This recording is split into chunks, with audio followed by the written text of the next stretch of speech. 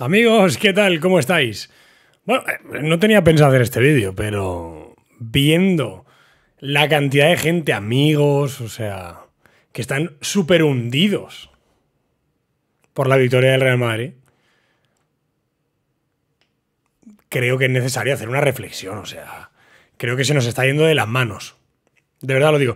No sé si es por esta era moderna de redes sociales que ha, ha creado como gente, generadores de contenido, creadores de contenido, Instagramers, TikTokers, no sé qué, eh, programas como el Chiringuito también han ayudado, creo, a esto, ¿no? A basarlo todo en Madrid, Barça, Barça, Madrid. Entonces, todo el rato es comunicante todo. Y todo lo que haga el otro te tiene que hundir. Y todo lo que hagas tú tiene que hundir al otro. De verdad lo digo, me sorprende una barbaridad me sorprende una barbaridad que haya gente preocupada porque el Madrid gane una Champions. 15. Como si gana 48.000. O sea, ¿qué problema hay? A ver, a mí me fastidiaría que la ganasen eliminándonos a nosotros, que en la final nos pudieran ganar, en una hipotética final que hubiese. Pero que el Madrid le gane ayer a Champions. Bueno, es que de hecho no vi el ni el. O sea, no, no veo nunca, ya lo sabéis, los partidos de Madrid. Pero es que el de ayer, mucho menos me dice la gente, no, es que si te gusta el fútbol. A mí me gusta el Barça, tronco. Yo soy del Barça. Me gusta el fútbol, evidentemente. Algún día veo algún partido de la Premier, si me apetece, tal. Pero ¿cómo voy a ver yo los partidos de mi rival? En la Liga, por ejemplo. O, la Champions que estamos eliminados hace 100 años. ¿Para qué me interesa a mí lo que haga el Madrid? Repito, ¿eh? creo que esto es de las nuevas generaciones de las nuevas generaciones que nos están llevando otra vez al pensamiento antiguo.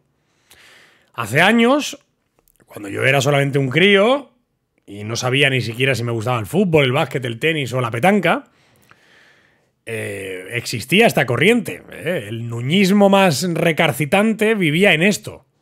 Vivía en tu temporada era buena si el Madrid perdía, aunque tú hubieses perdido todo, y así ibas salvando porque estábamos más pendientes de lo que pasaba afuera de lo que pasaba dentro.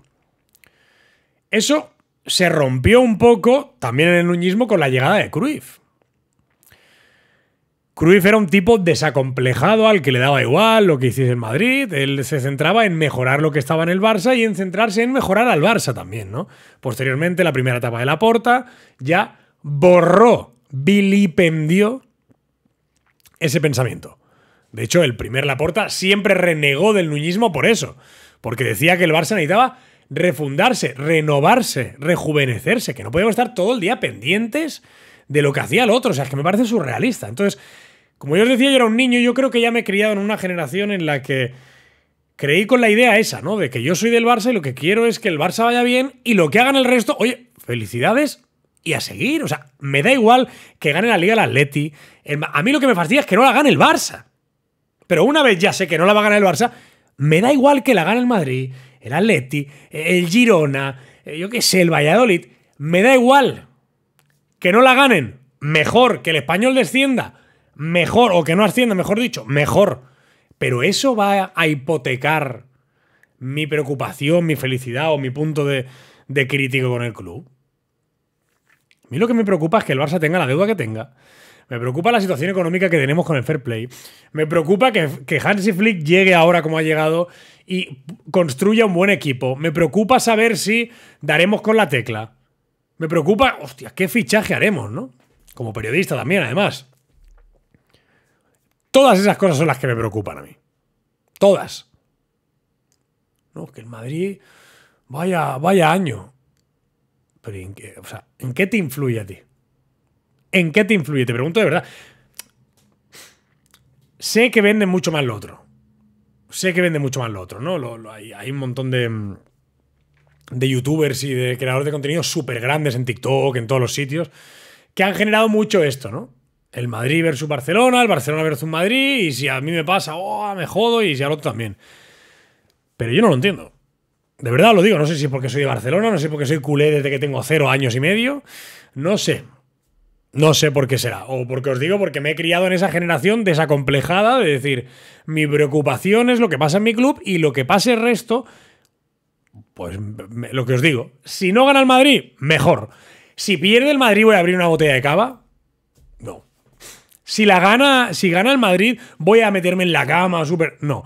Por eso digo que los programas como el Chiringuito también han ayudado a que todos estos creadores de contenido. Es que no me acuerdo de los nombres. He visto un par de canales muy, muy grandes de millones de suscriptores que se dedican solamente a hacer esto. ¡Guau! si gana el Barça. Normalmente son de fuera, no son ni de Madrid ni de Barcelona, son gente pues de Sudamérica, de yo qué sé, de Estados Unidos, gente de fuera que lo, lo centra todo en eso y como tienen tantos millones de seguidores, crean una cultura del eso, ¿no? De, si pierde el Barça, fiesta, si pierde el Madrid, fiesta. Y si no, ¡guau! Destrucción, el Barça es una mierda. Y yo creo que no es así. Apostillo lo que os decía del chiringuito. Creo que también ha influido en esto, ¿no? Personajes, porque son personajes, ¿no? Guionizados, porque son guionizados, como Cristóbal Soria, por ejemplo, que es un monologuista al final, es un tío que hace humor. Ayuda también a esto, porque te vende que es una figura de un tío que no es del Barça, en teoría es del Sevilla, ¿no? Creo que es del Sevilla. Pero que todo lo que le pasa al Madrid malo es una fiesta y todo que no, oh, a dormir, a la cama, que no sé qué. Y todo el rato igual. Chiringuito se centra en eso. Eh, hablan cinco minutos de un equipo, pero siempre se centra en Madrid versus Barça, Madrid versus Barça. Y creo que vamos por un mal camino así. O sea, si el Barça, como institución, tiene que estar pensando en que a una institución rival, el eterno rival, le vaya mejor y eso le va a, in- a presionar o a fomentar que haga las cosas de otra manera, me parece un error tremendo. Repito, por como hemos sido históricamente. Cuando más hemos ganado y cuando mejor hemos estado es cuando más desacomplejados hemos sido. Cuando más preocupados y críticos hemos sido con nuestro club, que es lo que nos tiene que importar. O sea, yo hoy haya ganado el Madrid 15 o 25, como os digo, no sabía ni que había una final, os imagínate ayer, porque me da igual. Estoy pensando ya en el básquet que juega hoy también. O sea, me da igual. El Barça Athletic. Entonces, el pensamiento este de estar todo relacionado me parece mal. Desacomplejados hemos ganado. Nos ha dado igual siempre todo. Nos hemos preocupado más por nuestro club, por mejorar las estructuras, por mejorar las secciones, por mejorar el equipo de fútbol, por mejorar la institución, que esto, que lo otro, que...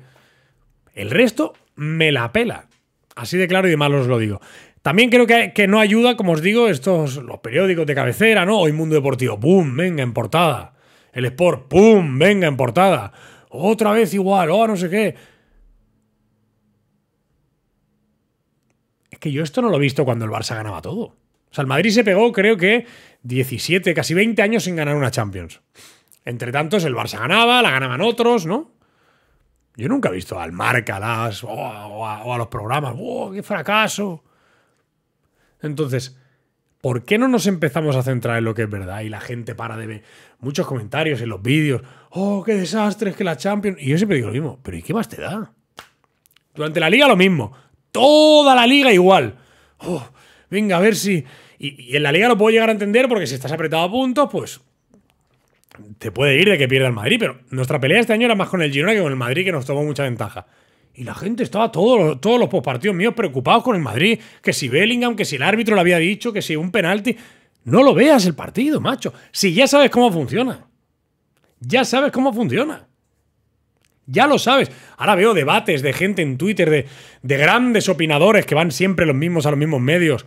No, es que el, el modelo del Barça hay que cambiarlo, es que ya está bien del ADN, hay que parecerse al Madrid. Oye, señor, si le gusta tanto parecerse al Madrid, hágase usted el Madrid. Es que no lo entiendo. Ahora, no, hay que. Todo como estamos pensando, fuera y hay que parecerse al Madrid. Ese sentimiento yo no lo tengo. ¿Sabéis por qué? Porque como no veo al Madrid nunca y me da igual lo que le pasa al Madrid, yo lo único que quiero es que mi Barça vaya bien. Eso es pare- parecerse al Madrid. Hágase usted el Real Madrid, caballero. O sea, ¿le tiene envidia usted al Real Madrid? Pues hágase del Real Madrid. ¿Quién se lo impide? Lo digo por los grandes opinadores que hay en las teles. Aquí en Cataluña fliparíais. En las teles, las tertulias, las radios. Oh, es que, claro, es que, que el Madrid guañi. Oye, si el Madrid guaña, pues que guañi el Madrid. Me parece surrealista. Surrealista y quería transmitirlo aquí, al menos para mi gente, los que estáis aquí. La pequeña comunidad que somos. No seáis acomplejados, de verdad. La mentalidad nuestra siempre ha sido otra, desde que arrancamos ese pensamiento nuñista antiguo de estar todo el día pensando, o sea, porque ¿sabéis qué pasará si no? Que al final nos convertiremos en un Atlético de Madrid más, la afición, ¿eh? el club no. El club está por encima de todo. El Atlético de Madrid o el español celebran que el Madrid no gane.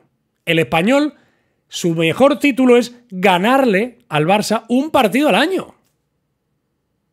Y que el Barça no lo gane la liga, lo celebran ellos. Yo quiero eso para mi club. Yo tengo que estar pendiente a ver si no ganan y, esta noche duermo mejor. Dormiré mejor si al Barça le va mejor. Lo que hagan el resto me importa un pito. Quiero saber cuánto pensáis como yo y cuántos no. Aquí abajo voy a estar leyendo. Pero vaya, creo que es una manera de pensar mucho mejor y que muchos más frutos nos ha dado. Venga, dale like, suscríbete.